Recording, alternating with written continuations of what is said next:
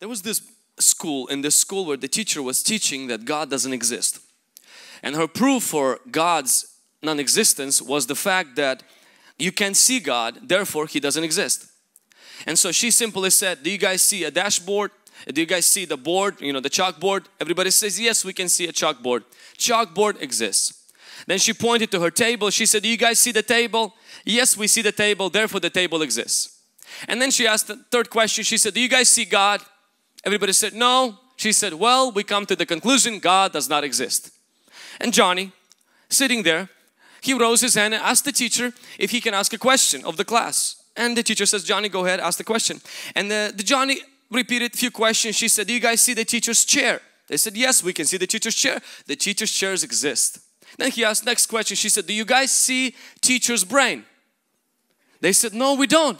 She says, based on that conclusion, we all come to the mutual agreement, teacher doesn't have any brain. She said, why should we listen to someone without brain? Of course she's gonna say God doesn't exist because she has no brain. And this little small Johnny just put the teacher in a very uncomfortable place. Now I highly discourage you to do that to your teachers if they will propose these kind of arguments. But the argument that something is real because you can see it with your physical eyes is not fair.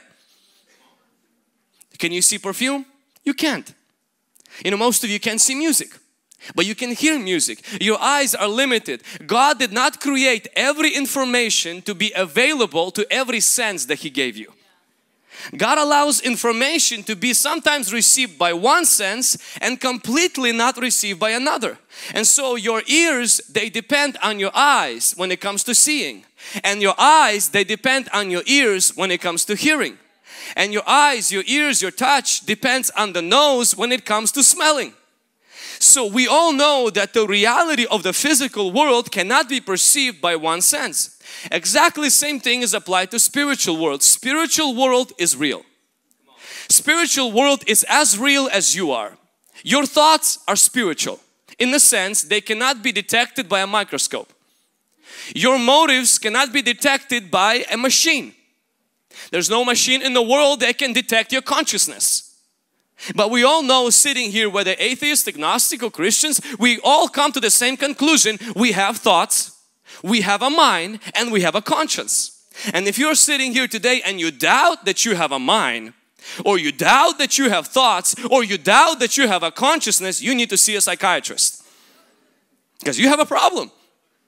Typical person, whether atheist or not atheist, will come to the same conclusion that they have a mind, they have thoughts, and they have consciousness. And all of these three things cannot be detected by not one machine in our Tri-Cities. That means that these things are invisible, therefore they are spiritual. Spiritual world is real. Spiritual world created the natural world. Spiritual world influences the natural world. Spiritual world is older than natural world and spiritual world overrules and overrides the natural world. As Christians, we must get more acquainted as spiritual beings with the spiritual world. As Christians, we must also understand it is the will of God to show in our life in the supernatural ways. God wants to do things no man can explain. God wants to do things in our life no man can get a credit for but God. Today we live in the world, we live in a generation that is hungry for supernatural. Right before the service I scrolled through the movies in the local movie theater and three, almost every weekend, three to four movies in our movie theaters are all about zombies, spirits, haunted houses, horror or some kind of a supernatural activity. Why are these movies produced? Why is Walking Dead such a popular TV show? Why is anything that has to do with paranormal activity that was made with few hundred thousand dollars and became a, and just a huge sensation in our generation? Because our generation has an appetite for supernatural. And many times that appetite is not satisfied within the church and the Hollywood sees that appetite and since they're only interested in making money, they feed that appetite with things that actually harm people instead of help them. God wants us as Christians, us as church is to have a healthy desire for the supernatural and that supernatural desire for that supernatural is fully satisfied in the scriptures of God. Can somebody say amen? The church is supernatural. Jesus' ministry was supernatural. One third of his ministry he cast out demons. He addressed the spirits and the darkness and the demons and the curses in people's lives. But after a while, when the church became popular because of Constantine, Emperor Constantine, he made Christianity stop, persecution stop, and he kind of made Christianity famous. And when Christianity became famous, Holy Spirit was no longer necessary to advance the cause of the good news. People relied on the Holy Spirit, but He was no longer as needed as was before. And Holy Spirit, whenever He is not needed, He draws away.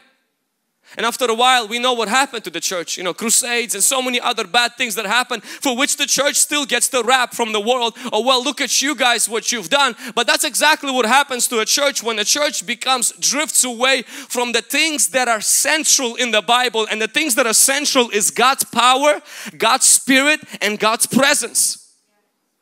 It's like the Chinese Christians that came to United States and uh, upon leaving United States they asked them, what is your opinion about the American Christians, us?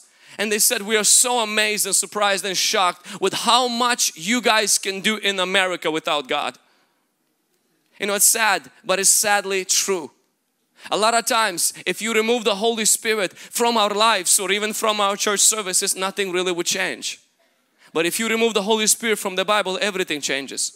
If you remove the Holy Spirit from the people who live outside of United States or Western countries, everything changes. I want to speak to you briefly today on the topic of curses. Very controversial topic. But for us, has nothing to do with controversy. It has to do with helping people who are suffering and who are in need. As you heard David's testimony and you hear testimonies in our church, a lot of people who get freed from demons, people who get freed from curses, most of you, you already know our church is known for that kind of things. Well, I believe the Church of Jesus is supposed to be known for those kind of things.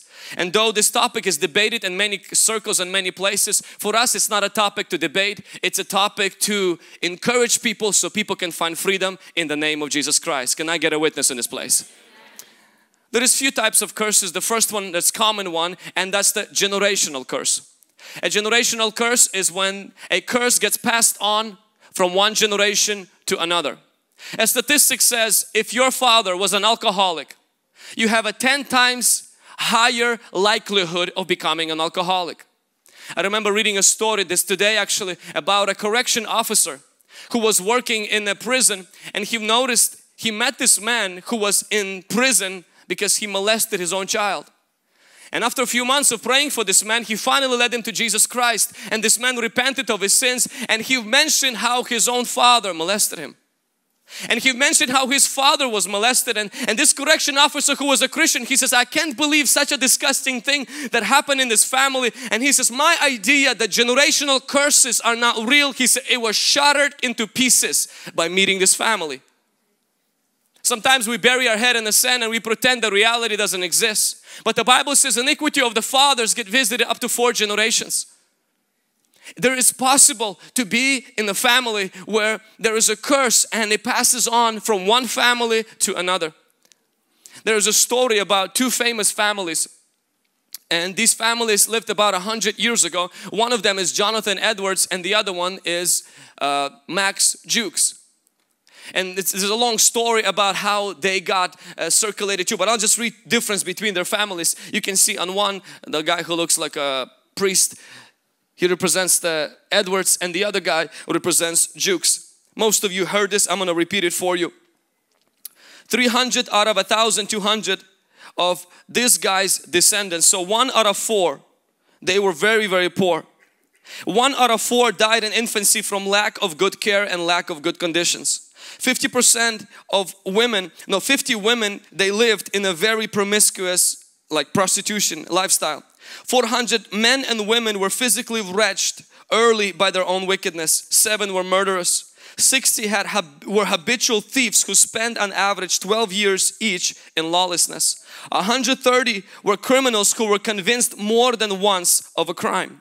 Now compare around the same time this man's family Jonathan Edwards. One of them was, was a US vice president. Three of them were US senators. Three of them were governors. Three of them were mayors. 13 were college presidents. 30 were judges. 65 were professors. 80 held public office service. 100 were lawyers. 100 were missionaries, pastors, and theologians. Definitely in this family and in this family, there were few people who were doing good.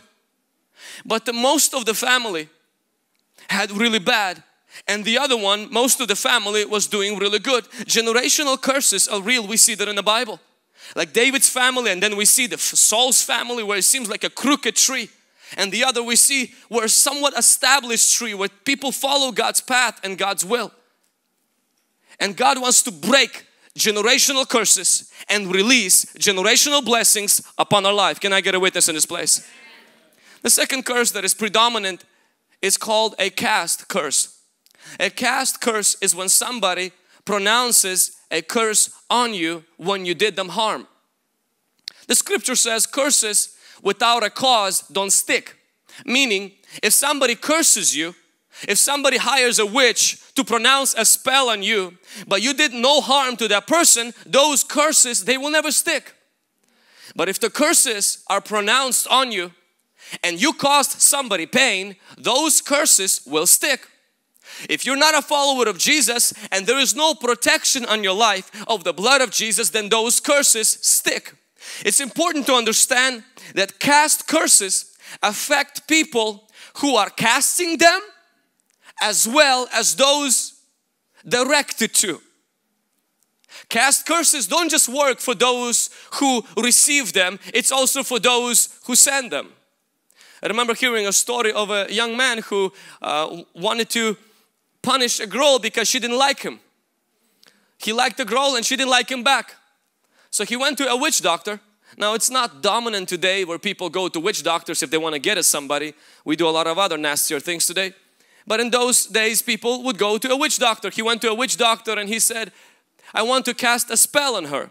Meaning I want to destroy her life. The witch doctor of course asked for some money. He gave her some money and then she created a lock and she says, I want you to pronounce all the nasty things you want to happen in this girl's life. So he, he go ahead, just open up his mouth and just let it, let it out. Said all that I want her to do da, da, da, da, this bad, I want her to be sick, I want her to, to die, I want her to have this and that. He said that and the witch locked the lock and threw the lock in the river and the key somewhere else. And exactly everything this man pronounced became real in this girl's life. Until a few years later, Everything he pronounced on her life started to happen in his. He came to church asking God to change his life.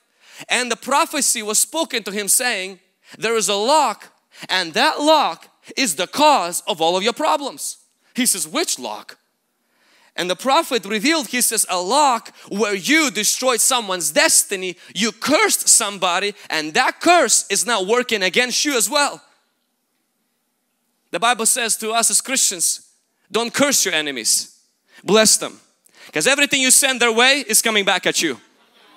Some of you saw the video. Take a look at this uh, video. Uh, you most of you saw this. It's karma at its best. Um, pray for her. It's like curses. You release it and it comes back right at your face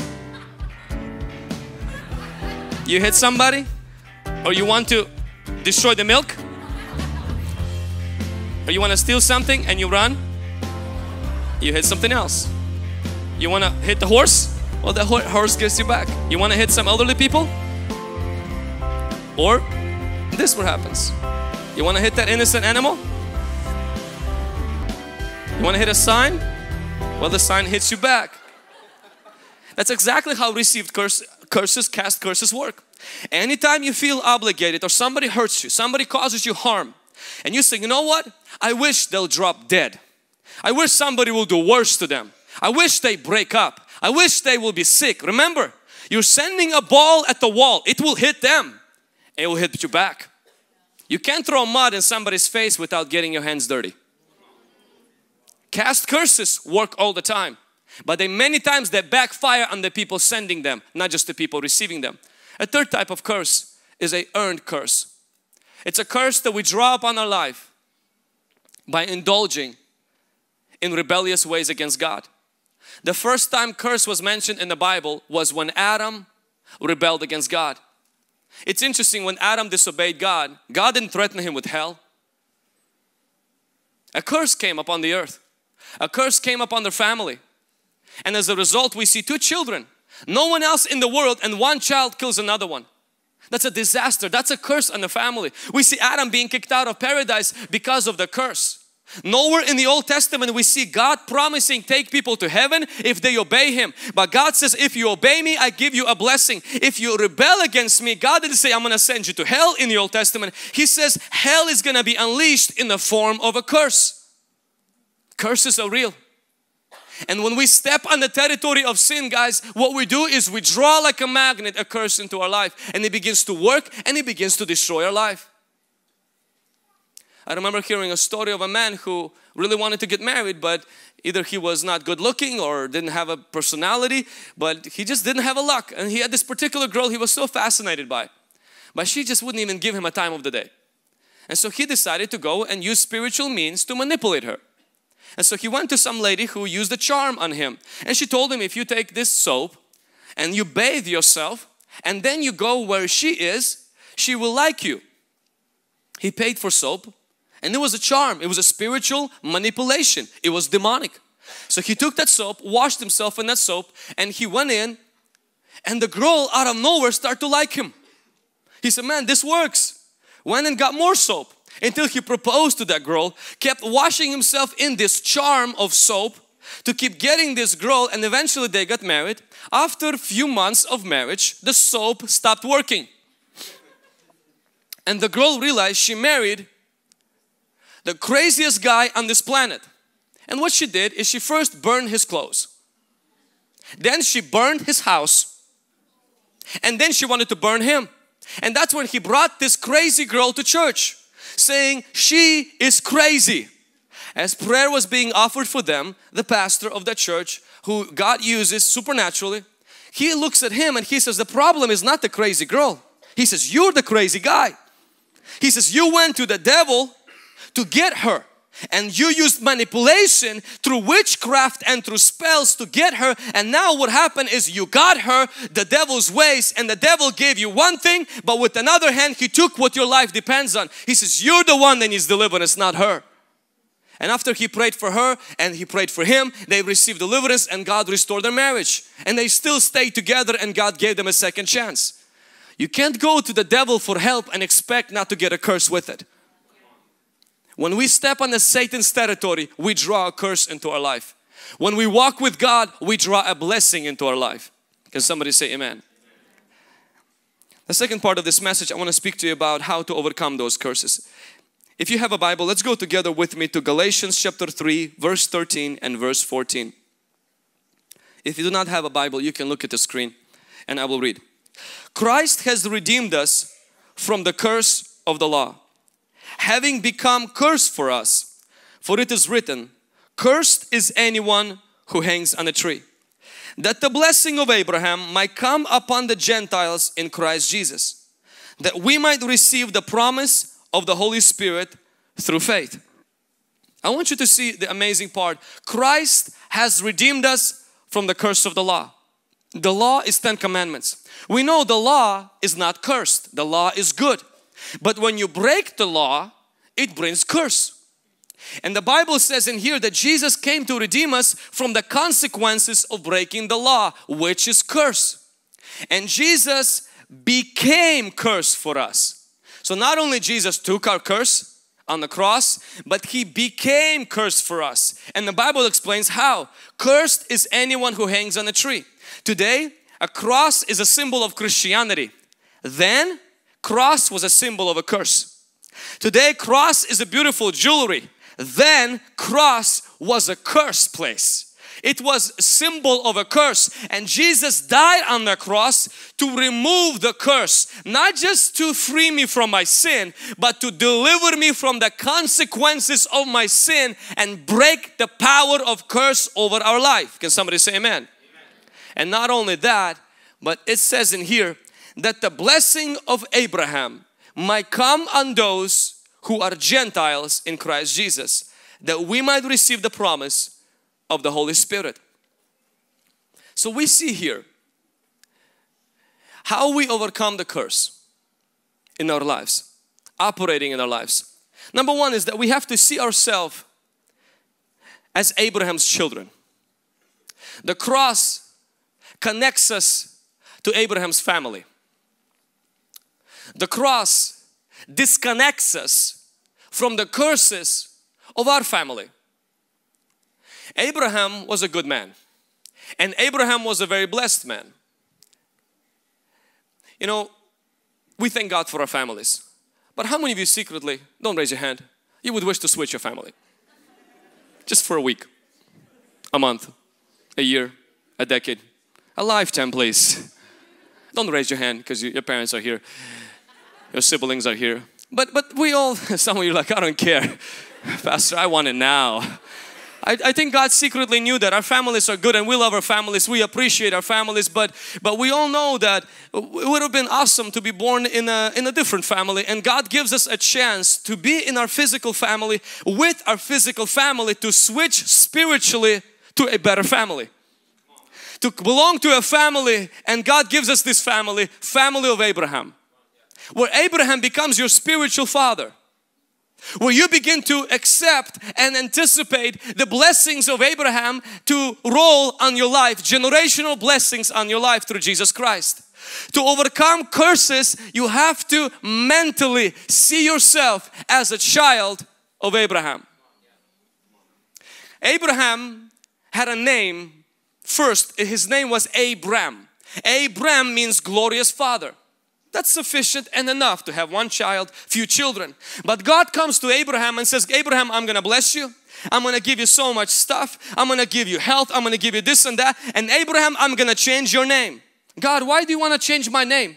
See, long after you're going to be dead, I'm going to send my Jesus.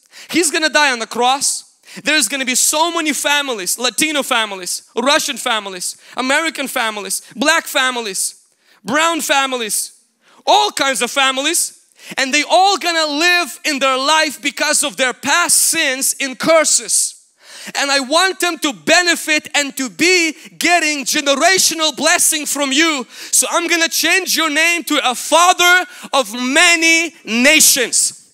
That when in Jesus Christ, they will be your children. The blessing on your life is gonna go on their life.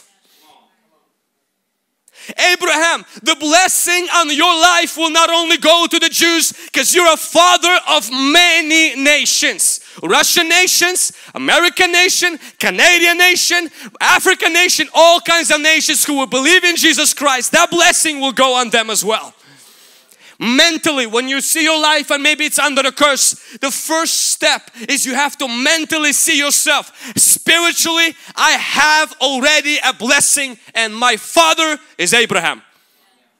Can somebody say amen, amen. the signs of a curse are following. Is there chronic disease phobias and fears premature deaths loneliness and divorce poverty and lack repeated disasters? These are signs of curses. They are described in the Bible in book of Deuteronomy where God describes when curses come what happens and this is kind of what happens when we live a life of curse. We have chronic constant diseases.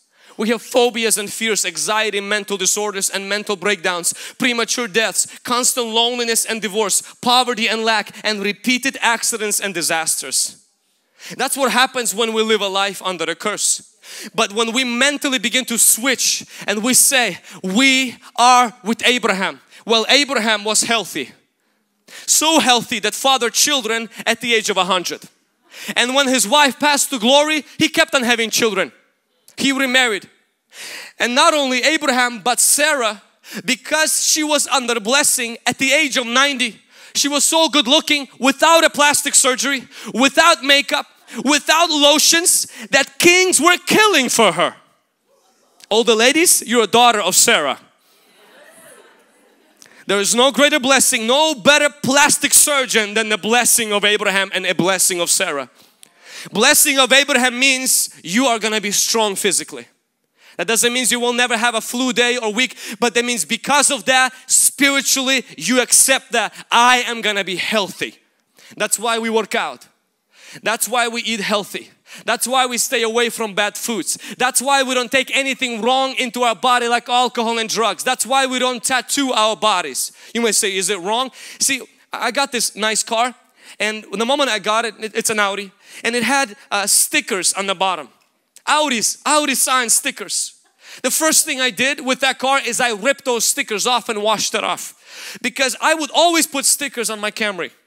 But when you get an Audi, you don't want stickers on it. Let the car shine for itself. It has enough beauty and glory in itself. A lot of Christians, they put stickers on themselves. Listen, you are a temple of the Holy Spirit. Let you shine.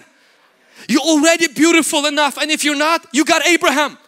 Keep walking in that blessing. Let the glory of God shine through you. Watch your body. Receive the blessing of Abraham. Your body is going to be strong. Your body is going to be beautiful. And your body is going to be blessed by God. Somebody say amen blessing of Abraham is not only you're going to have a health but you're going to have faith. Abraham was known to be a healthy man and he had faith and dreams not nightmares. He lived a long life. He was married. He was happy. He was in abundance and generosity. We know Abraham to be a wealthy man and God wants you to be a person who receives Abrahamic blessing. It means God wants you to live like Abraham. God bless your father. God bless your mother but spiritually you, your father, your mother, your grandparents, we all can come under a different line of the blessing of Abraham.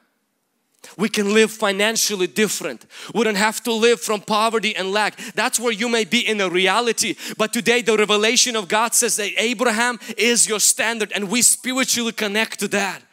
I remember talking to a wonderful young man who just gotten saved in our ministry. He OD'd before and he was pronounced dead one time at the, at, at the accident scene. You know, this man never had money, only bills and court court dates, restraining orders, not restraining orders, all kinds of, um, you know, orders to, uh, to show up to court and everything. And he was telling me today, he said, Vlad, you won't believe it. He says, I am completely debt free. He said, this week all of my debts are paid.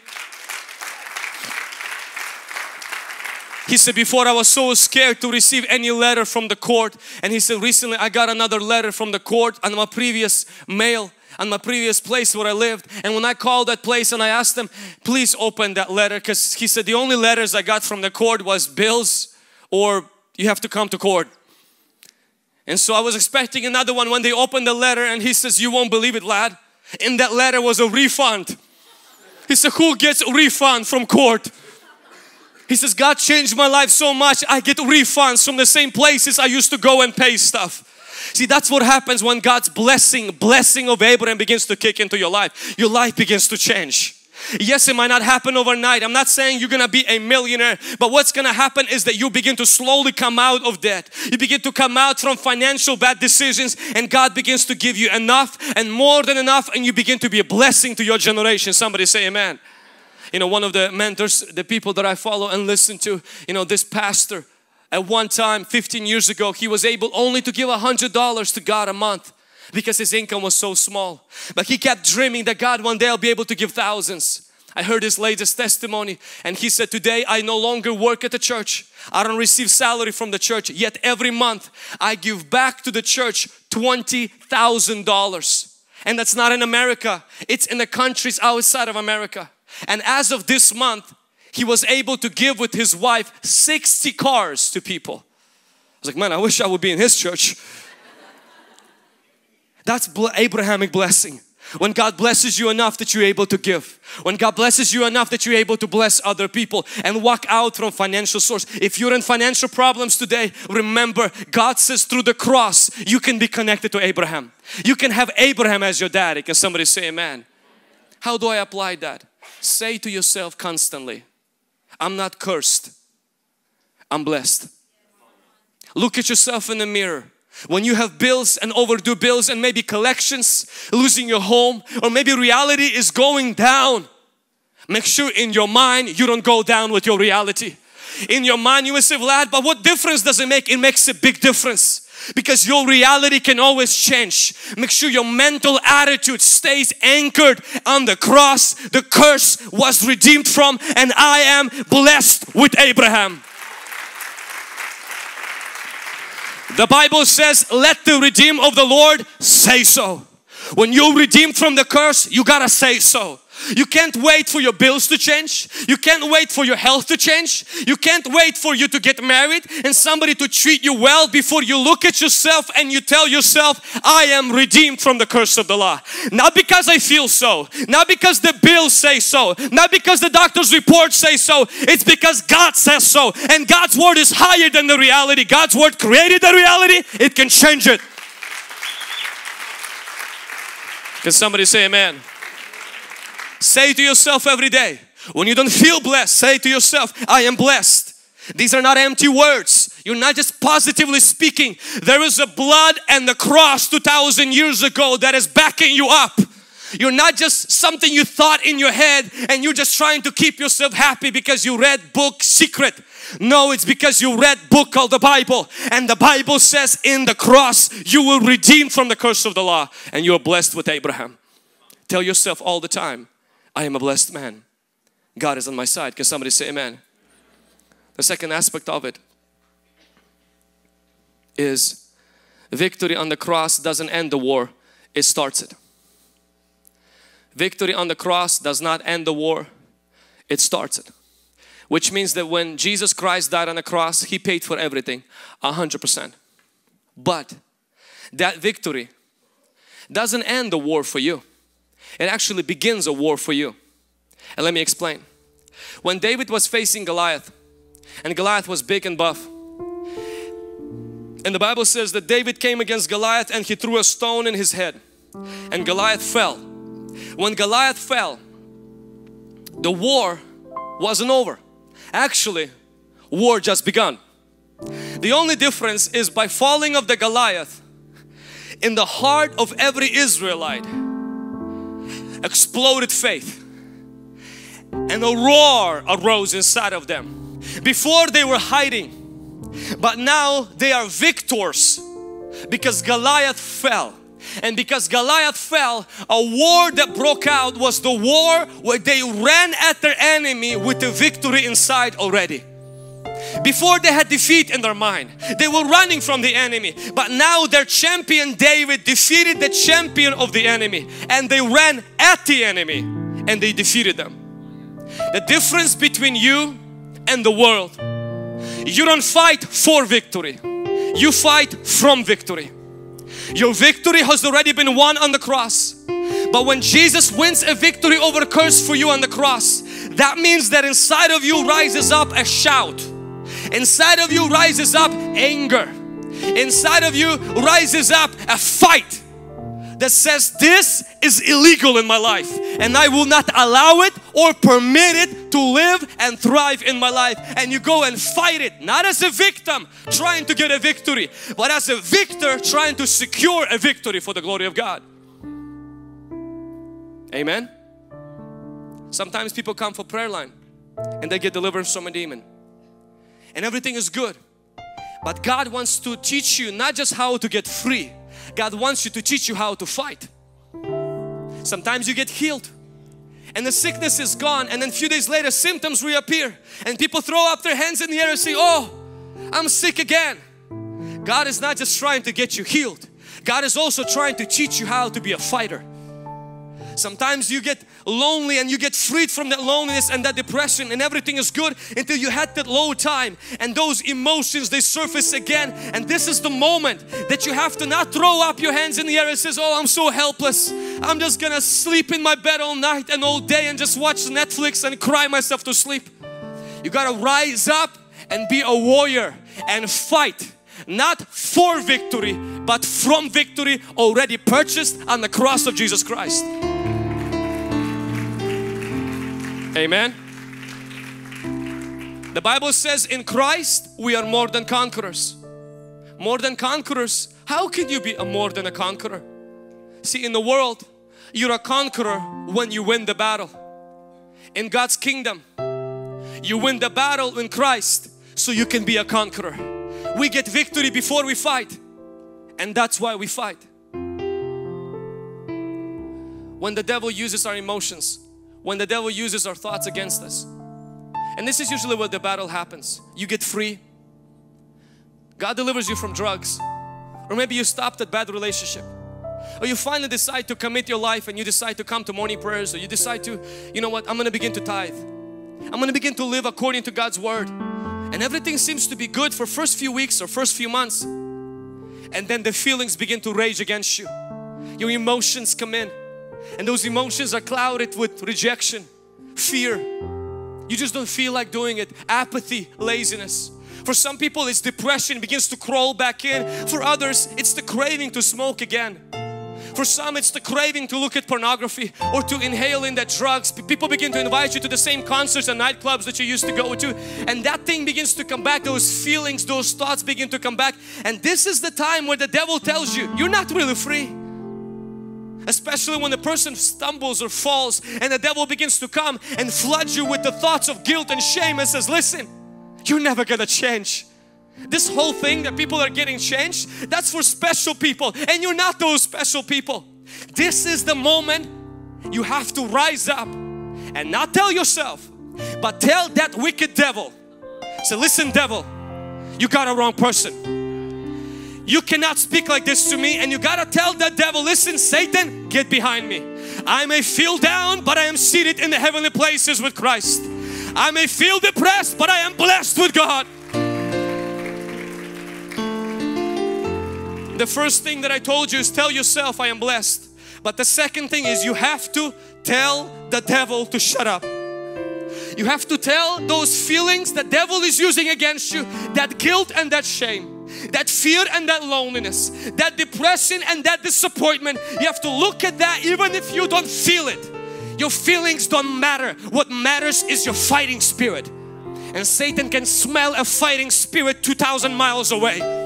When you rise up and tears are rolling down your eyes but you got that stone in a slingshot and you say devil you come against me with fear. You come against me with loneliness. You're big and tough and you've been talking for 40 days but listen I am small but my God is big and I'm gonna throw this rock rock at your head.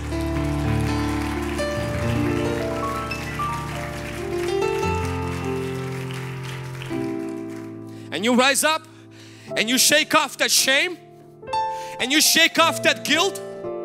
And you shake off that depression? No matter how you feel what matters is how you fight. Because God is on the other side and watching his little warrior. God's angels are watching. You're never left alone. It's that God wants to produce within you not a wussy or a whining spirit but a warrior spirit. You're made in the image and likeness of God. God never lost the battle and he was never afraid of one lions give birth to lions. Eagles give birth to eagles. And God created you and inside of you He placed a fighting spirit and He wants that to grow inside of you. But it will never grow inside of you until you're thrown into a place where your emotions are raging your thoughts are screaming and you feel like the world the weight of the world is on your shoulder. In that moment don't just cry out to God and say God help me. Open up your mouth and tell that wicked devil to go where he came from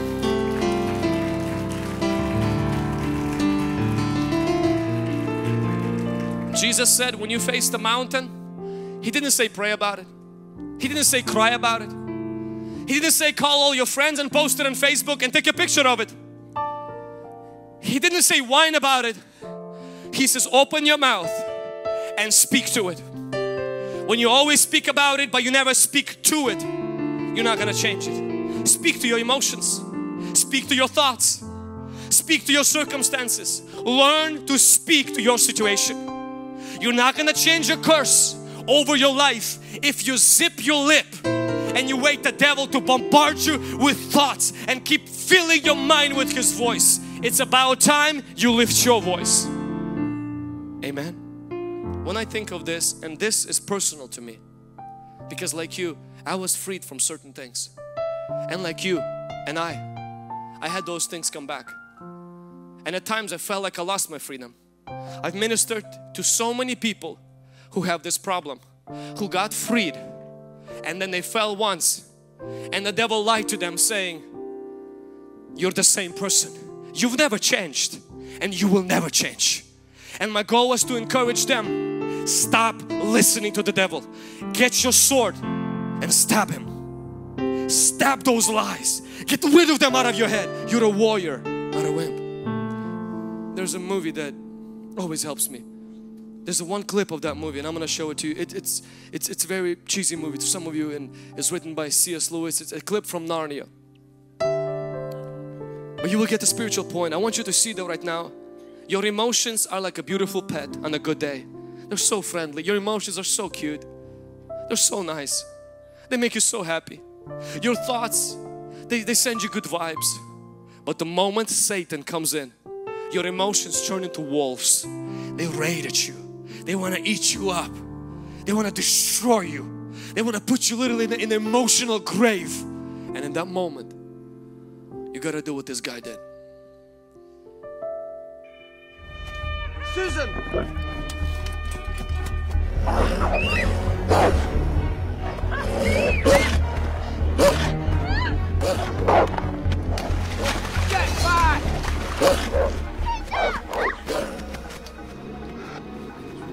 Come on! We've already been through this before. We both know you haven't got it in you. Peter! Watch out! That's you right there. And that's your emotions on a bad day. And that's Jesus doing the, doing the prayer line. Stay your weapons. This is Peter. But he always leaves you one to do it on your own. You may think you're a king, but you're going to die. Like a dog! Okay, stop crying. He didn't get hurt.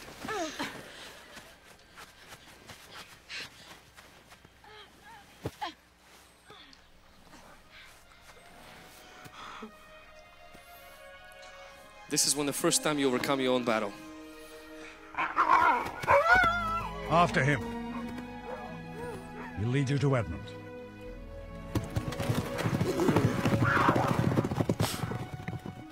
Peter, clean your sword.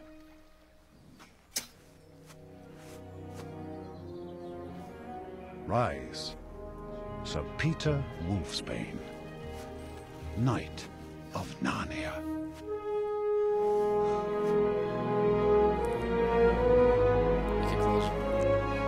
Forgive me.